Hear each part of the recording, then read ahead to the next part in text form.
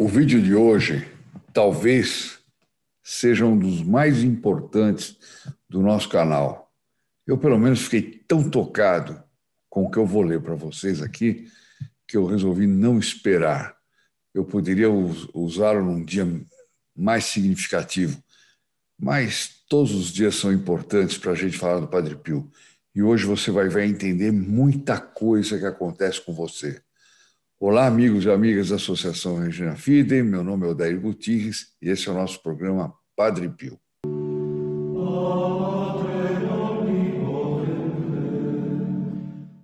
Quando eu disse é, que talvez seja um dos vídeos mais importantes, é porque ele explica de uma forma contundente até a quantidade de testemunhos que nós recebemos dos filhos protegidos do Padre Pio, principalmente, né? e que eu acho que depois de ouvirem isso, muitos vão querer ser filhos protegidos do Padre Pio, vão querer se inscrever. Nós recebemos aqui uma quantidade enorme de testemunhos, vocês podem é, checar isso aí nos próprios comentários dos vídeos, as pessoas falando do, da da sensação de proximidade do Padre Pio. Parece que o Padre Pio está sempre ao meu lado, parece que quando eu peço uma graça, ele me atende imediatamente. Pedi por uma outra pessoa, ele atendeu. Olha, eu às vezes eu tenho a sensação de que eu estou com o Padre Pio perto de mim. Eu tenho essa sensação também. Né? Mas quando isso me chega de outras pessoas, a gente vai vendo que é um fenômeno qualquer por onde o Padre Pio se faz presente na nossa vida de uma forma especial é, e espetacular. E eu, eu encontrei aqui um trecho do Padre Marcelino Azezaniro que conta um fato que me tocou muito. Não sei se é, essas coisas variam muito de pessoa para pessoa, você pode ouvir e falar, bom, é um fato a mais do Padre Pio, mas aqui mostram uma relação que o Padre Pio estabelece com cada um de nós, do jeito que ele estabeleceu com essa pessoa que nós vamos comentar aqui. Eu passo direto para pro, pro, a história, né? esperando que vocês, se gostarem, deem like aqui, etc., para que muitos outros conheçam o Padre Pio. O Padre Pio é um verdadeiro pai. É esse o nome do capítulo. Então, eu vou ler direto aqui para vocês. Tem impressão que. Espero que o Padre Pio toque o coração de cada um é, com esse texto, como tocou o meu. Né? Padre Jean Batista Lomônaco foi um filho espiritual muito ligado ao Padre Pio. Colocando à nossa disposição, está dizendo o Padre Marcelino, né, à disposição dos capuchinhos de São Giovanni, algumas anotações do seu diário nos faz saber com quanta força e naturalidade o padre deu-lhe as mais amplas garantias de estar perto dele em seu caminho espiritual. Então, as mais amplas garantias de estar perto dele em seu caminho espiritual. Oferecemos dois exemplos. No dia 4 de março de 1940, ele estava na sacristia, enquanto o padre, ele o padre Jean Batista, né? Enquanto o padre Pio estava se despindo das sagradas vestimentas, depois da missa. Então ele chegou para o padre Pio assim e disse no ouvido: Padre Pio, sinto-o sempre ao meu lado. É mania ou realidade? Padre Pio respondeu para ele: O que é mania? Aí ele respondeu: talvez seja uma impressão minha, acrescenta o padre Jean Batista, né? tentando entender isso que acontecia. O padre Pio responde, então, e o que é impressão? Primeiro perguntou, o que é mania? O que é impressão? Um pouco confuso, o padre Jean Batista então pergunta, então é uma realidade? O padre Pio, sorrindo, afirma que sim com a cabeça. Esse é um fato. Quer dizer, eu estou ao seu lado, sim. Não é impressão sua, não é mania, é realidade. Portanto, quando alguém sente isso e escreve isso aqui, eu jamais, eu nunca fiz esse, esse juízo, né? A pessoa está com impressões, está com mania, não. Nunca fiz esse juízo. Mas aqui o Padre Pio me, me confirma que isso pode acontecer sim. Isso com esse filho espiritual. Mas acontece, tem mais um fato impressionante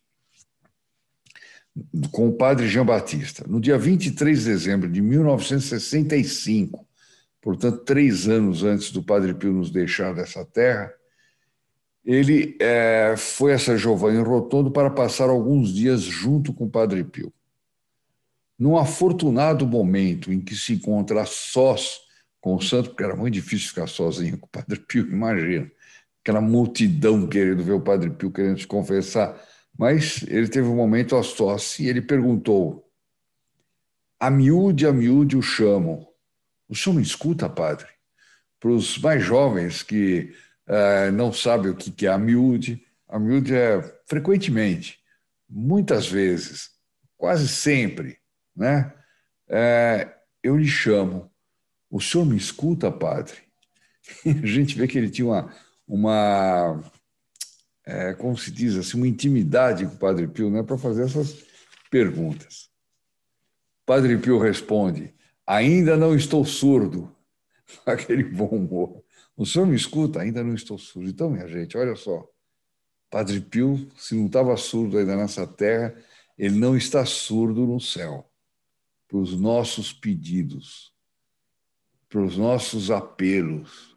Então nós devemos, a miúde, a miúde, pedir, como é que diz aqui? Chamar o Padre Pio. Chamar o Padre Pio na hora da tentação, chamar o Padre Pio na hora do desânimo, chamar o Padre Pio quando estamos sobrecarregados, chamar o Padre Pio quando nós estamos aflitos, chamar o Padre Pio quando nós queremos proteção, quando nós queremos vigilância, quando nós queremos tudo. Chamar o Padre Pio porque ainda não estou surdo.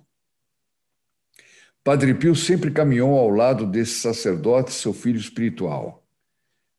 A gente vê que ele era um privilegiado né, em matéria de, de união com o Padre Pio. O Padre Jean Batista viu pela primeira vez o Padre Pio em 1937.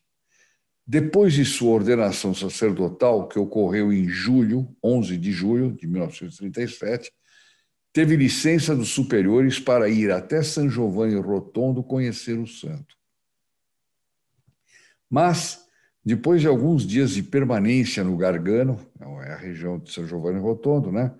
Os limitados recursos econômicos obrigaram o jovem a interromper a lua de mel espiritual. Ao despedir-se do Padre Pio, ele disse: Não, ele, é, ele aqui está dizendo, ao despedir do Padre Pio, ouviu dizer, e por que você vai embora?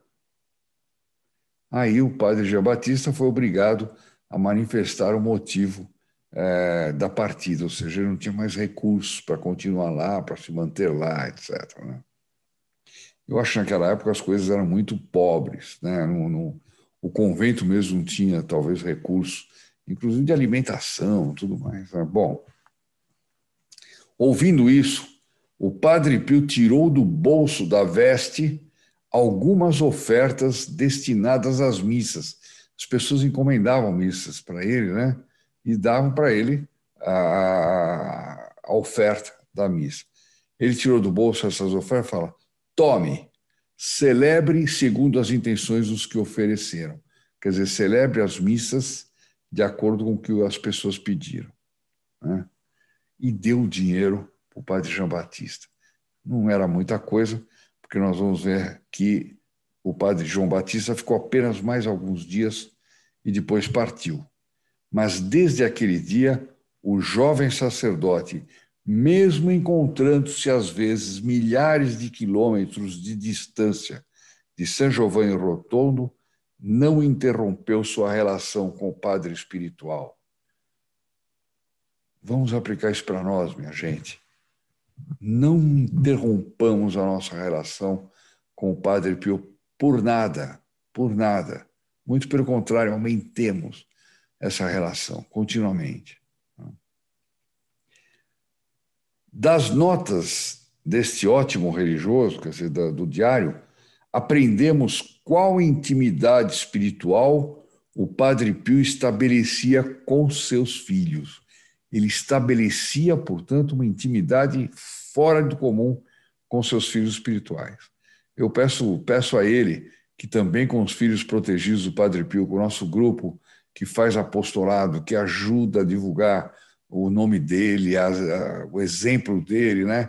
Num colóquio que teve com o santo na terça-feira, dia 25 de abril de 1939, a gente vê que ele ia sempre que podia lá. Né? Padre Jean Batista manifesta ao Padre Pio uma dúvida. Olha só as coisas como são impressionantes. E é bonito. Agora aqui a gente vê como ele ia progredindo na vida espiritual, progredindo na vida espiritual e cada vez pedindo coisas mais importantes espiritualmente falando. Ele diz: Padre Pio, há muito tempo, cada dia, na missa, peço ao Senhor o dom da participação dolorosa ao seu sacrifício. Olha que não é brincadeira. Posso continuar a fazê-lo? é conforme, é conforme o desejo de Nosso Senhor? Olha a pergunta. O santo respondeu: Pode continuar. Pedir, olha, preste atenção agora. Pedir é uma boa regra, mas remete-se à vontade de Deus. Eu estou pedindo, mas eu quero que esteja de acordo com a vontade de Deus. É o que o Padre Pio está dizendo. Continua aqui. Muitas vezes o desejo é mais eficaz do que a própria obra. Então, quando a gente quer fazer algo por ele, esse desejo pode ser até mais eficaz do que aquilo que nós estamos fazendo. Não é impressionante isso? Não é impressionante?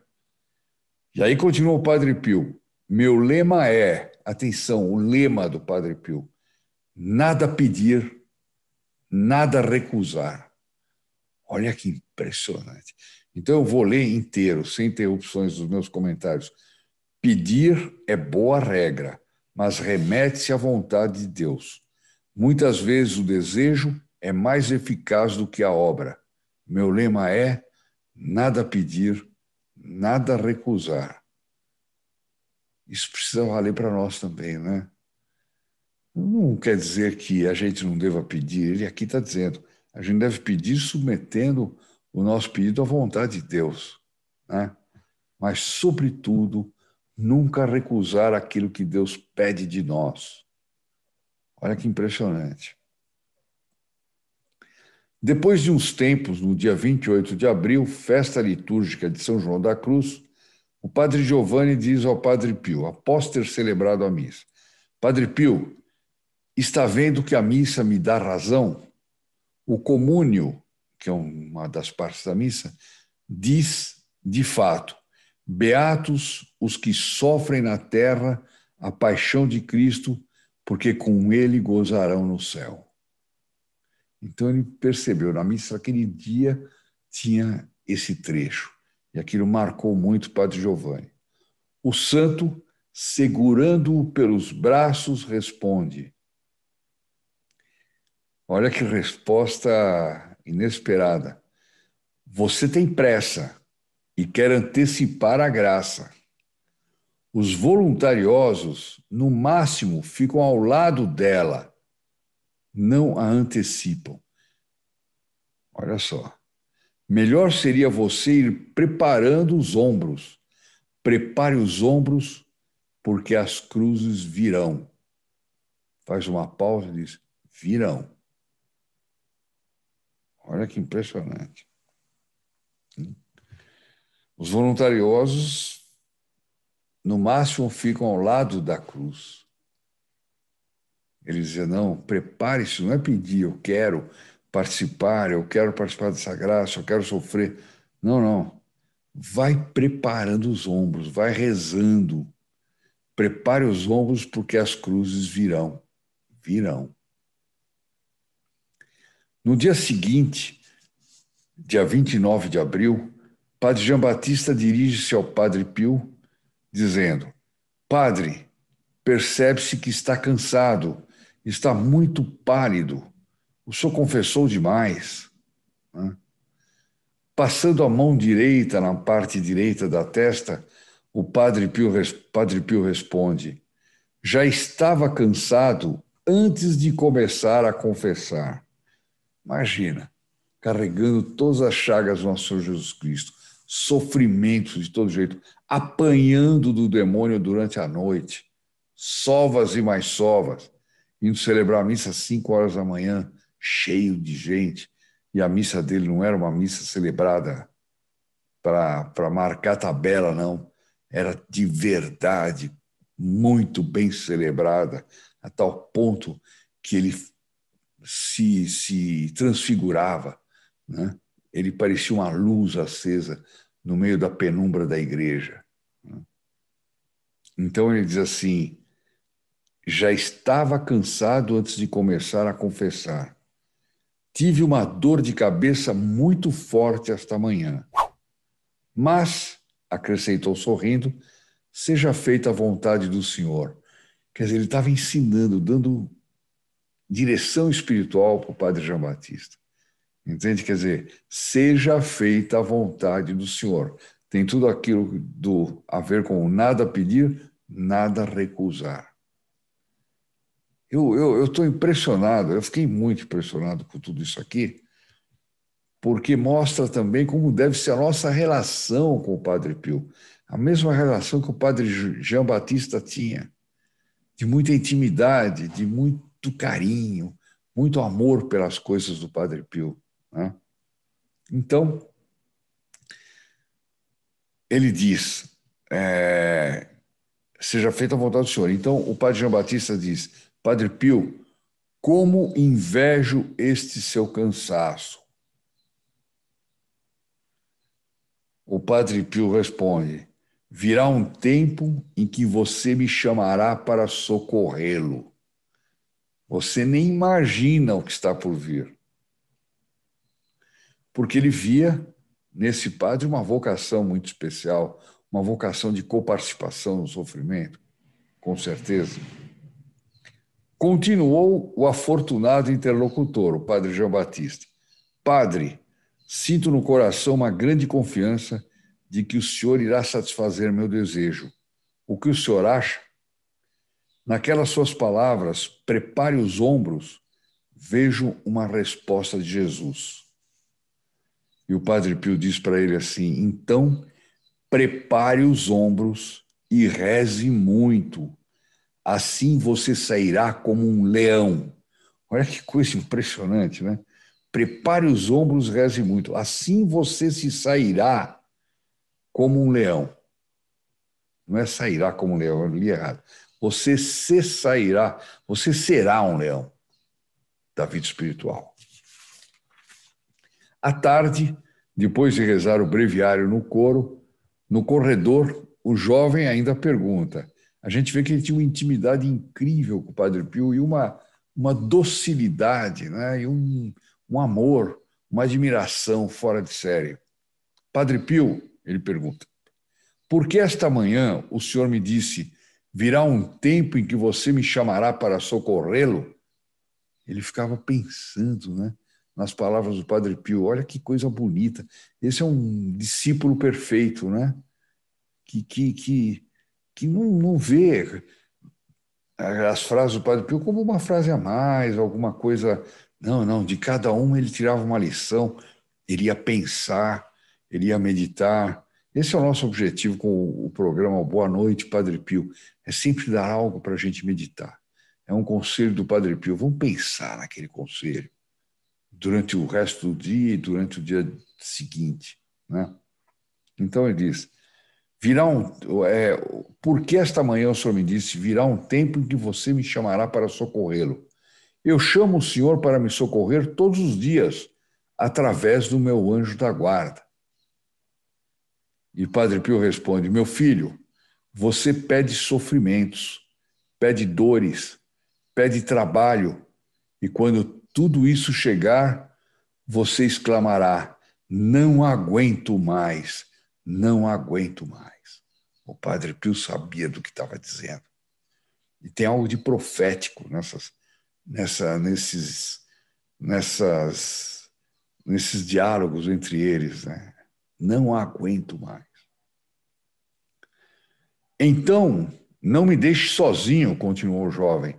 Esteja sempre ao meu lado, mas principalmente quando isso acontecer. Ajude-me a preparar os ombros. Olha aqui que ele não fugiu da raia, não. Ele falou: ah, o senhor está dizendo que eu que eu que eu que eu estou pedindo é algo muito duro, né? Mas ajude-me a preparar meus ombros para carregar essa cruz.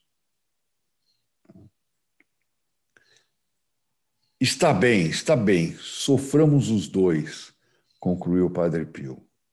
Aqui tinha uma aliança, né? Estava estabelecendo uma espécie de aliança com esse discípulo dele. Como eu gostaria que todos nós tivéssemos essa aliança com o Padre Pio e que continuasse chegando esses testemunhos maravilhosos, dizendo: Eu sinto o Padre Pio do meu lado, né? como o Padre João Batista sentia, e ele pedia ele pedia socorro toda hora, ele pedia a presença do Padre Pio toda hora. Por que nós não vamos fazer isso? Por que com esse exemplo? Na manhã seguinte, domingo, dia 30 de abril, o Padre Pio confirma a sua promessa. Padre Jean Batista havia lhe dito ter celebrado a missa para ele e para si próprio, e havia acrescentado: Padre Pio, não acha bonito este sofrer os dois no mesmo cálice? E Padre Pio, fitando nos olhos com um sorriso, a cena sim. Faz esse sinal com a cabeça. Depois, colocando a mão no ombro do jovem, agradece, olha a gratidão, e acrescenta: Eu também farei o mesmo rezarei uma missa para você, estarei sempre com você, sofreremos juntos, fique tranquilo. Aqui também mais uma, uma espécie de aliança, né? uma espécie não, uma aliança, né? do Padre Pio dizendo, eu farei o mesmo, rezarei uma missa por você, estarei sempre com você, sofreremos juntos, fique tranquilo. Isso vale para nós. Estarei sempre com vocês. Né? Sofra. Vai ter sofrimento? Vai. Sofreremos juntos. Fique tranquilo. Fique tranquilo. Lindo. O padre, padre, eu até me emociono quando leio isso aqui, que é maravilhoso, né? mas vamos lá. Padre Jean Batista teve mais uma certeza de como o Padre Pio teria é, cumprido o compromisso assumido, quando, tendo-lhe pedido para que se lembrasse dos seminaristas de Catânia durante a Santa Missa, teve essa resposta: está bem. Olha que impressionante, minha gente. Olha que impressionante, não esqueçam disso. Está bem. O que eu prometo, cumpro. E aquilo que comecei, levo até o fim. O que eu prometo, eu cumpro, e aquilo que eu comecei, levo até o fim. Ele está dizendo isso para nós, para nós. Eu me sinto concernido, você também tem que se sentir concernido, não é possível. Ah, senão o Padre Pio não, não, não faria você ter conhecimento disso, não faria a mim ter conhecimento disso. Se ele faz isso, é porque ele quer isso. É? Ele disse: E aquilo que comecei levo até o fim, e quando não posso rezar a missa, sei como suprir. E aqui termina essa história linda. Eu acho que é dos vídeos mais, é dos textos mais impressionantes que eu li não sei se é ou mais, mas tem tanta coisa maravilhosa do Padre Pio que a gente não sabe bem se é o mais ou não, mas para mim, com certeza, é um dos mais impressionantes. Né? E isso nos anima a tocar esse apostolado. Aquilo que a gente começa, a gente não para. A gente não para. Não é? Como é que é? Vai até o fim. Eu, o que eu prometo, eu cumpro. Então, o que nós prometemos para o Padre Pio, nós devemos cumprir. Nós devemos cumprir. E o nosso canal, a promessa do nosso canal é levar esse apostolado do Padre Pio aos últimos rincões da terra que nós pudermos, aos últimos cantos do Brasil. E para isso eu conto muito com vocês. Eu conto com vocês dando like, eu conto com vocês compartilhando para colocar muitas pessoas na missa da próxima quinta-feira. Eu conto com você que ainda não su subscreveu no canal, vai lá, faça sua inscrição, acione o sininho, né? Para quê? Para sempre estar ao par de tudo que acontece é, de novo aqui no nosso canal do, do, do Padre Pio, do, do, apostolado e tudo mais. Eu convido você também a ser um filho protegido do Padre Pio. Você vai sentir o Padre Pio muito mais próximo de você, muito mais ao seu lado. Né? Você vai sentir a proteção do Padre Pio. E depois, você não vai querer abandoná-lo nunca mais. Disso eu tenho certeza. Então, meus amigos, vamos fazer apostolado? Eu me despeço de todos com a Ave Maria, um por todos, todos por um, nessa intenção. Que nós sejamos cada vez mais um com o Padre, o Santo Padre Pio. Né? E com a bênção dele, para que isso aconteça na nossa vida. Salve Maria, meus amigos. Ave Maria, cheia de graça. O Senhor é convosco. Bendita sois vós entre as mulheres, e bendito é o fruto do vosso ventre, Jesus. Santa Maria, Mãe de Deus, rogai por nós, pecadores, agora e na hora da nossa morte. Amém. In nome del Padre, del Figliolo e dello Spirito Santo, così sia. Sia lodato Gesù e Maria, e buonanotte a tutti.